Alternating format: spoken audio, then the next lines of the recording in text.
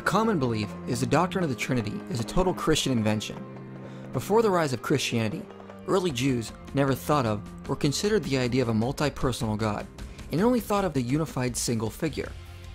Christians either made up the Trinity to explain how Jesus revealed himself, or they stole it from paganism. But this is simply not true, and if you study early Jewish writings, you will see that many authors wrestled with the idea of three powers in the Old Testament who all seem to be God. The Trinity doctrine was not an invention of the New Testament, but was taught overwhelmingly throughout the Old Testament as well.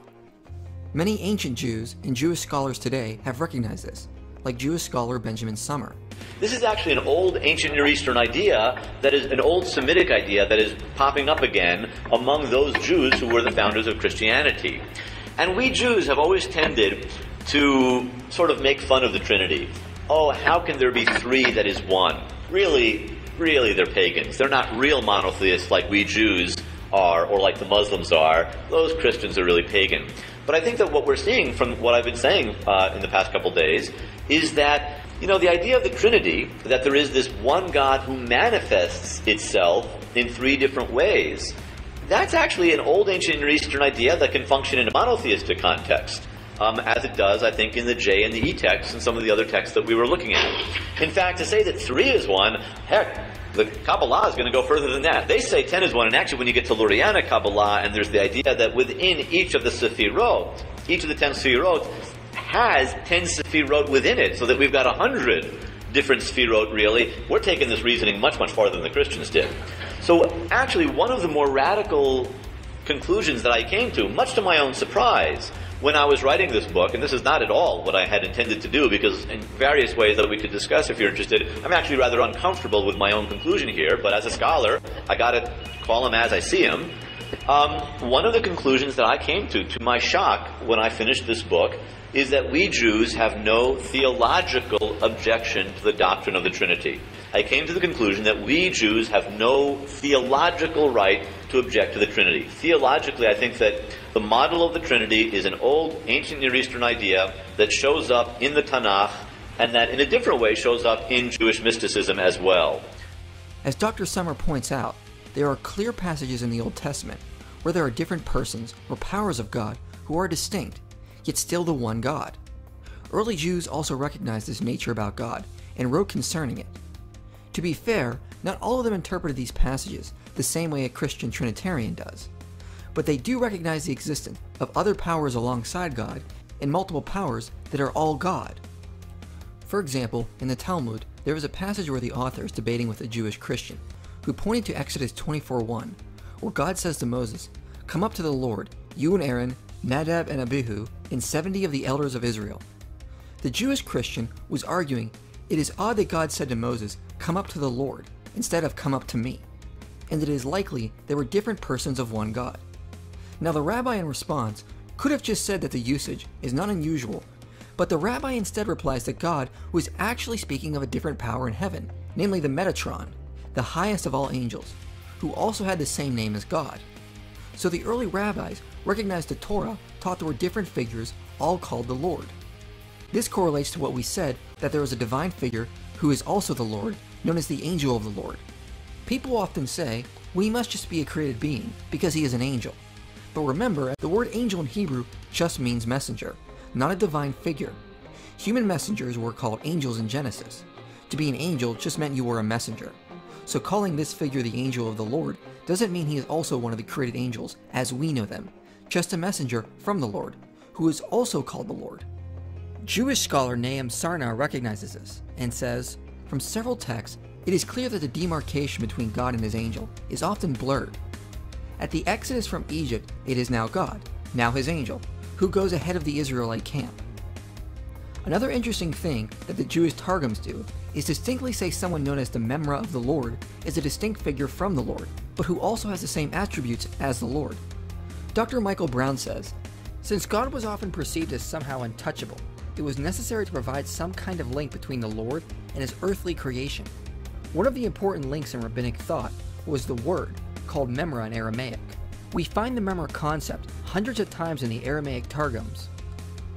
This helpful chart shows how often the early Jewish Targums would translate passages from Scripture that applied to God to say it was the divine figure known as the Memra, or Word of the Lord, acting as God. The Word created man, and is quite often equated with God during covenants and giving commandments.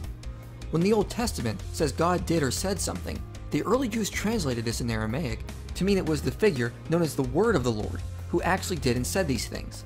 Since God was untouchable, the spoken Word of God came to us and did these things. Who, in a sense, would have been an extension of God.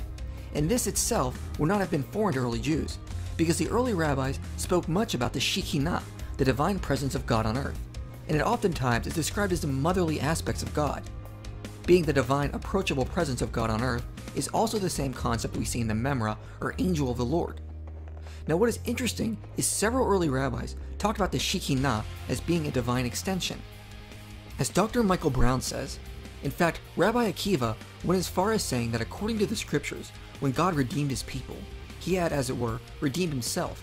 Some Hasidic Jews, joining the concept of the Shekinah with the mystical concept of the Sefirah, took this one step further. They believed and still believe that the purpose of the performance of the mitzvah is to help the Shekinah to unite with the Tiferet, the male principle. The sins of Israel hinder this union and prevent the reunification of worlds. The Hasidim, in accordance with this belief, adopted the formula, much deplored by their opponents, for the sake of the unification of the Holy One, blessed be He and His Shekinah. Now, this belief is not explicit in the Bible. It is an interpretation of the rabbis, trying to wrestle with the fact that the Old Testament teaches multiple divine figures that are all somehow the Lord. On top of this, besides the angel or the word of the Lord, early Jews also recognized the existence of someone known as the Holy Spirit interceding between the Lord and Israel. Dr. Michael Brown says Lamentations Rabbah 360 and 9 relates that after the Roman Emperor Hadrian indiscriminately executed two Jews, the Holy Spirit kept crying out, You have seen, O Lord, the wrong done to me. Uphold my cause. You have seen the depth of their vengeance, all their plots against me. This provides an example of the Spirit making intercession. According to Leviticus Rabbah, the Holy Spirit is a defense counsel who speaks to Israel on behalf of the Lord, and then speaks to the Lord on behalf of Israel. In all these citations, which can be easily multiplied, there can be no question that we are dealing with a who and not just a what, with a personal dimension of God and not just with an impersonal power, with God Himself and yet with a separate entity who can mediate between God and man. And these citations closely parallel some of the New Testament descriptions of the Holy Spirit, although virtually all the rabbinic texts cited were written many years later. The early Jewish writer known as Philo also recognized a holy trinity of divine figures in the Old Testament. However, his belief was not identical to Trinitarianism. It was more like semi-Arianism, believing God created the Logos, or Word, and the Holy Spirit to be the other divine powers with him, yet made out of his own essence. But unlike modern Jews, he also says that there were three divine figures in the Old Testament who do things only God can do.